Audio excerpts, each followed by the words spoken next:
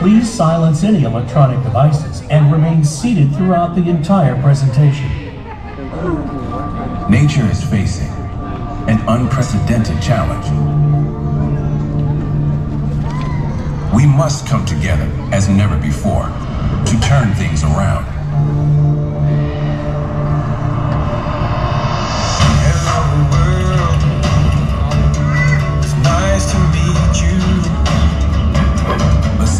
Diego Zoo and San Diego Zoo Safari Park are leaders in caring for and conserving wildlife.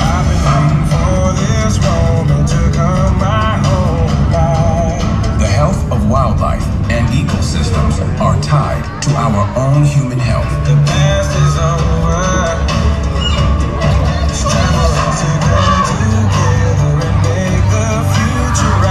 With partners around the globe, we drive change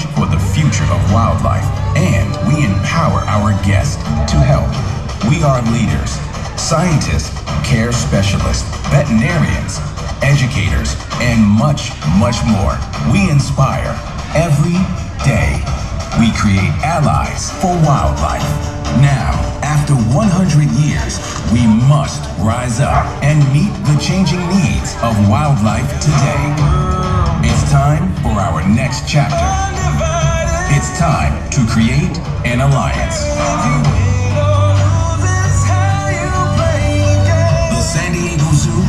Wildlife Alliance.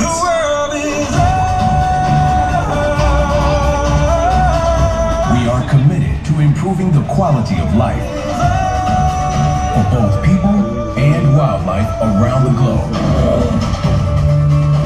And we get to bring our work home to the San Diego Zoo and Safari Park, creating the next generation of wildlife allies for a better world.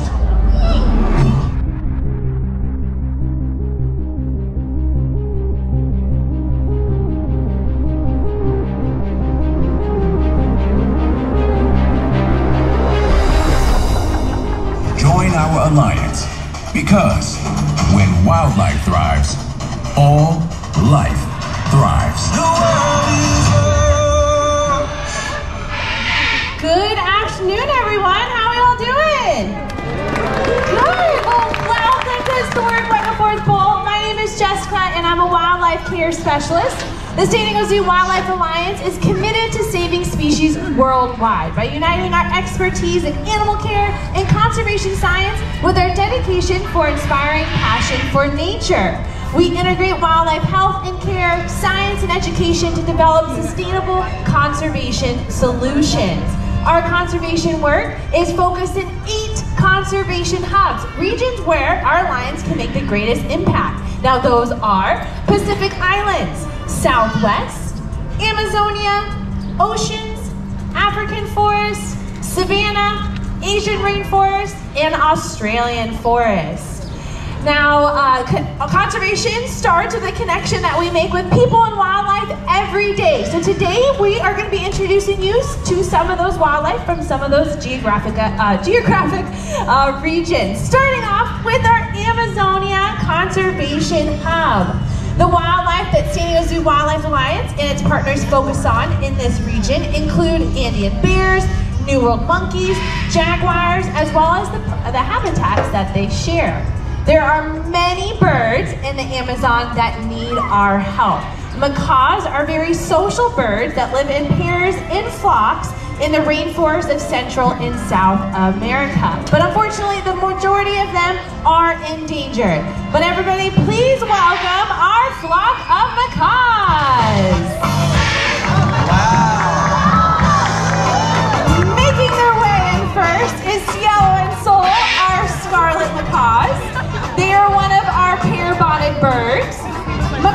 Can live up to about 50, 67 years of age. Oh, and there's Diego, our green wing macaw. He's gonna be showing off his wingspan in just a second. And then over here to my, your left is Sierra Azul, our blue and gold macaws. Look at them go. Macaws can travel up to 15 miles in a day searching for some of their favorite snacks. Um, some of those are different fruits and veggies. We're very squawky today. Uh, fruits and veggies, especially nuts. They are all designed um, to open up nuts using those very big, thick bills of theirs. Those beaks are very, very strong. And as you can hear, those squawks are very loud. Um, this is very necessary for them to communicate in the dense rainforests of Central and South America. Now, the Amazon is a very big ecosystem, but is one of the ecosystems that is uh, quickly diminishing due to a lot of human encroachment. There you go, bud. Uh, but one of the things that you can do to help out these beautiful birds is by what you buy in the grocery store. How many of you like coffee in the morning?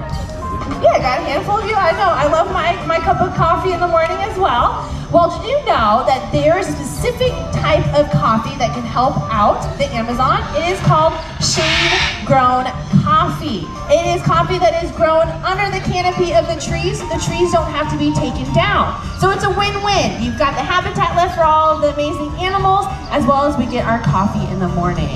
Well, did you know uh, macaws will actually go back to that very same tree from when they left in the morning. So let's make sure that that tree is still there when they return. That was our beautiful flock of macaws, everyone.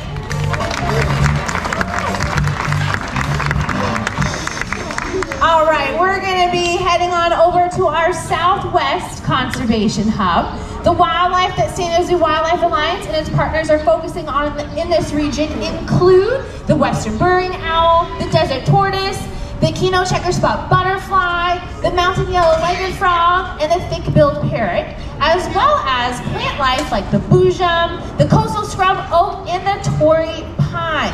Now, this next wildlife ambassador, you might literally find in your own backyard. Please welcome Richard, our Virginia opossum. Here he comes. How many of you have had one of these in your backyard? Yeah, handful. Now, uh, Virginia opossums are the only native marsupial to North America, which means the females have a pouch to carry their young, just like kangaroos do. Now, um, they are a very misunderstood species. A lot of people think that they're gross and scary. Well, I am here to tell you today that they are amazing. Did you know that they can get bitten by a rattlesnake and, and live to actually eat that rattlesnake? Yeah. Um, scientists have actually identified a special peptide in their, their blood that helps neutralize that venom. Um, we are very hopeful that one day we will have a universal anti-venom all because of the opossum. Now they're also very helpful in your gardens. Um, they will take care of any of those rotten fruits and veggies or even all those pesky bugs that go after your vegetables in your garden. Um, like caterpillars, any type of beetle, bug, and especially ticks. Any of you like ticks out here? I hope not. I mean, they all have their place in the ecosystem, okay? um, but Opossums can actually eat up to 5,000 ticks in one season. Yeah. So um, this is very helpful in areas where Lyme disease is very prevalent. I think he might be done. Are you still chewing? Okay, still chewing. Now, how many of you have ever heard of playing possum? Yeah, or playing dead. Um, this is a really cool adaptation that they have where if they feel frightened, they will actually play dead. Um, an involuntary response where they'll flip over, their tongue will hang out, their heart rate will even slow down, they even give off a gross smell. And this is in the hopes of um, for predators to not eat them. Most predators don't really like to eat things that have already passed away. So they've got some pretty amazing uh, superpowers, as I like to say, uh, for being an opossum. They help us survive Lyme disease, they can survive rattlesnake bites, and they can even play dead. Well, this is my favorite part, dining and dashing. There he goes. That was Richard, our Virginia opossum!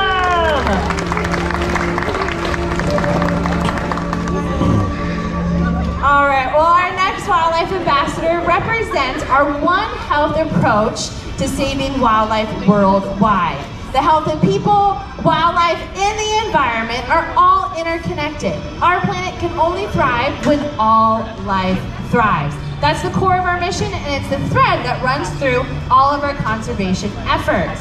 Now, this next wildlife ambassador is one of the largest owl species in the world. So, everyone, please welcome Einstein, our Eurasian eagle owl.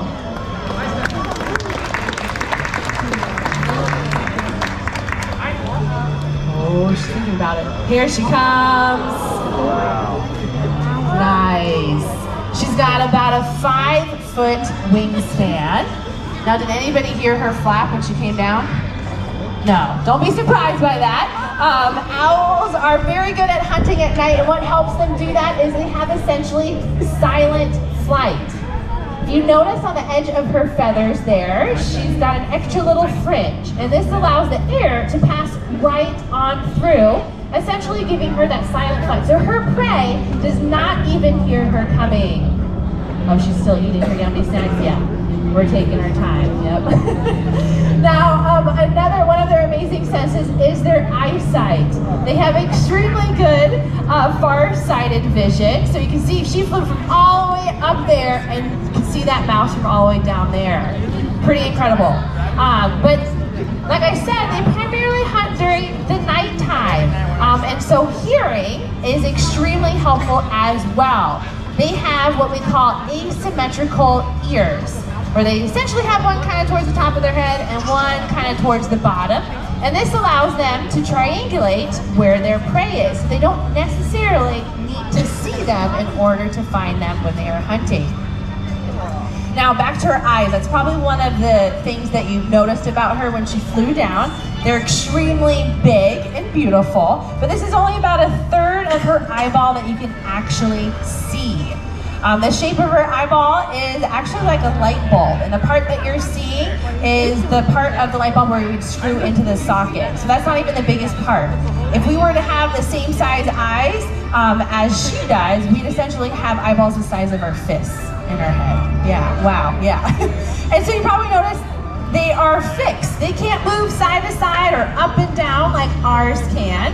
Um, and that's because they are so big. Uh, but, oh, she just gave a National Geographic over here. Oh, down the hatch. Okay, awesome. they do swallow their prey whole. They might shred them a little bit, but they swallow everything. The bones, the fur, and all that. And guess what? They will regurgitate back up the, all the fur and the bones in a really cool little pellet called owl pellets kids, and I think in uh, fifth or sixth grade, you might be able to dissect them in school. It's pretty fun. And you can, um, it's actually very helpful with scientists and research, researchers. Um, it allows them to know what they are eating out there in their native habitat. Now, having those fixed, oh gosh, you're just holding it there. It's adorable. I'm sorry. Always get distracted. In the, makes for great pictures, right? what are you staring at? You already have your mouth. It's in your mouth. There you go. Down the hatch.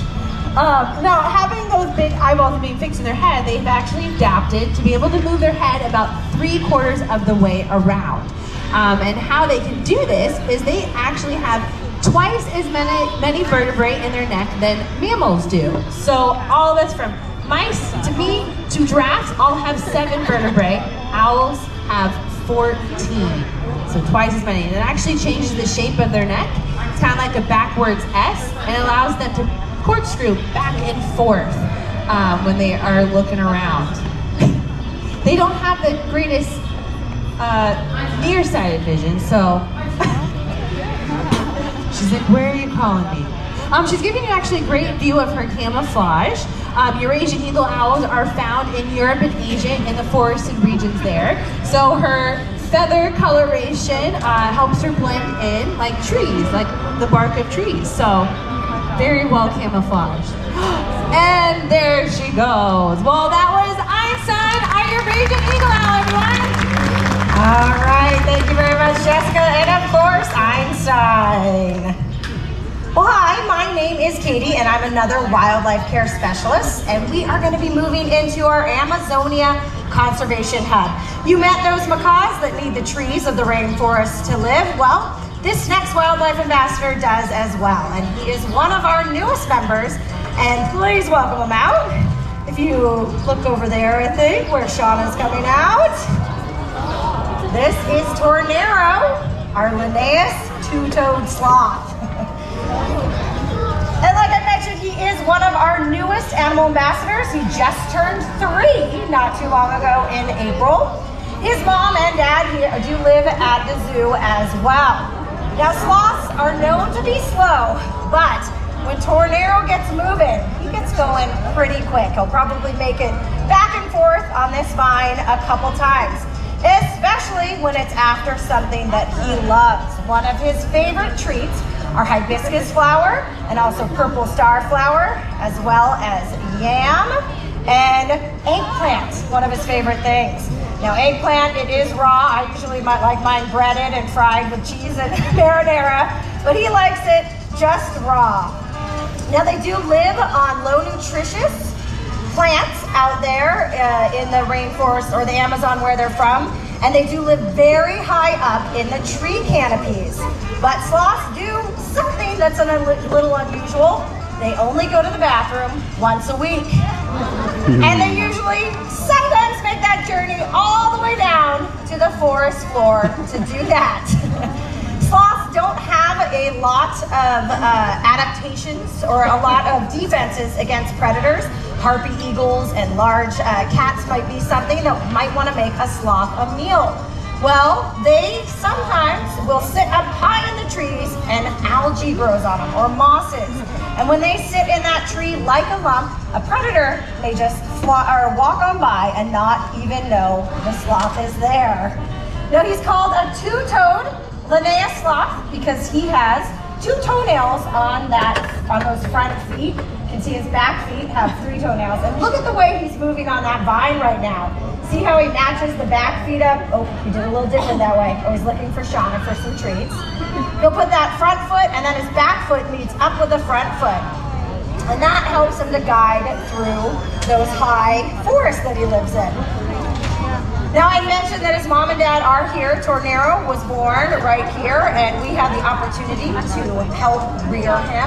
We co-reared him with his mother and started building a bond with him when he was very young.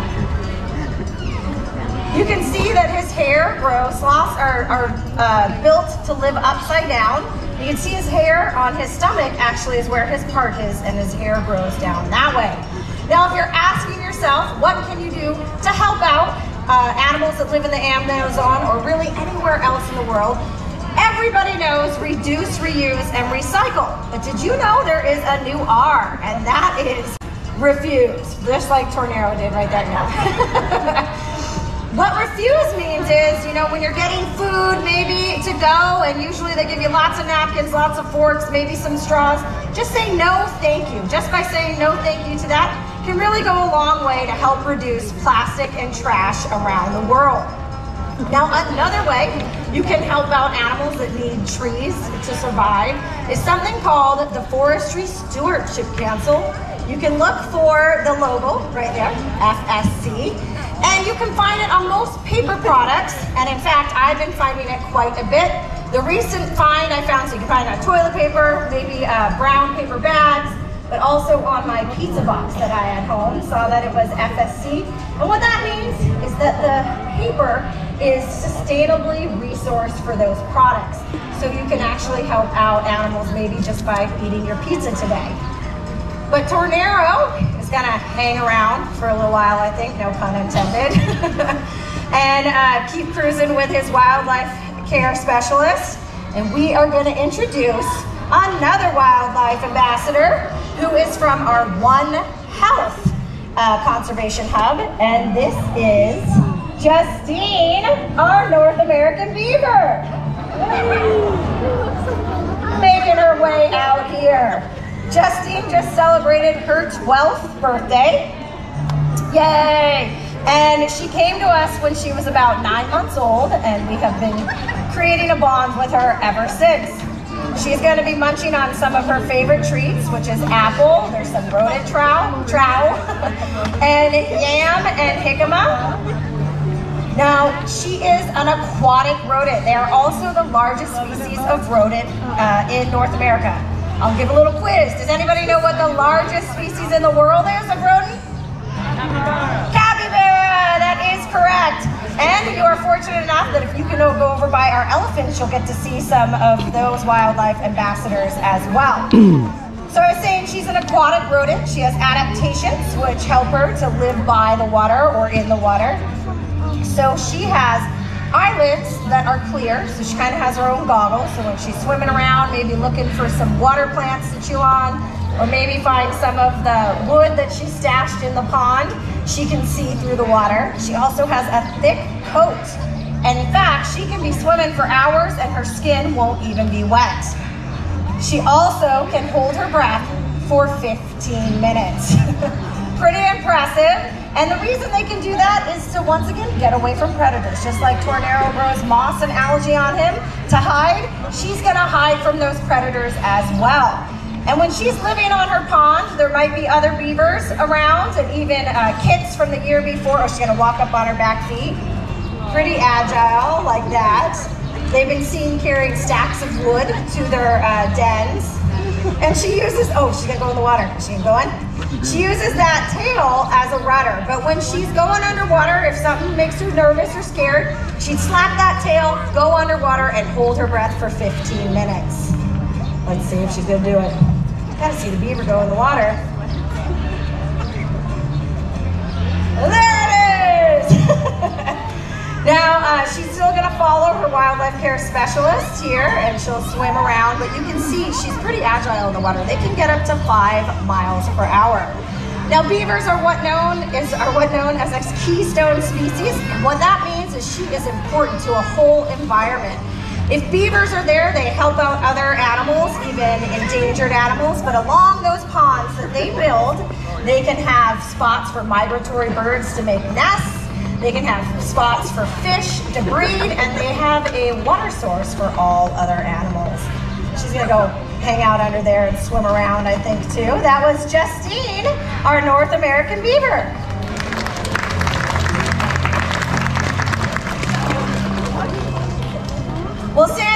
Wildlife Alliance is creating a world where all life thrives, and never has it been more important. As first responders in the field, we are there with a century worth of knowledge, uh, applying that to global conservation challenges. We innovate, we collaborate, we inspire for people and wildlife to thrive together for a healthy planet. But we couldn't do it alone. We need dedicated allies like you. You can join San Diego Zoo Wildlife Alliance by becoming a member. You can volunteer time. You can donate to conservation projects. There's so much you can do to help us out. But your help means a world of difference to us because when wildlife thrives, all life thrives. Enjoy the rest of your day right here at the San Diego Zoo. Bye-bye.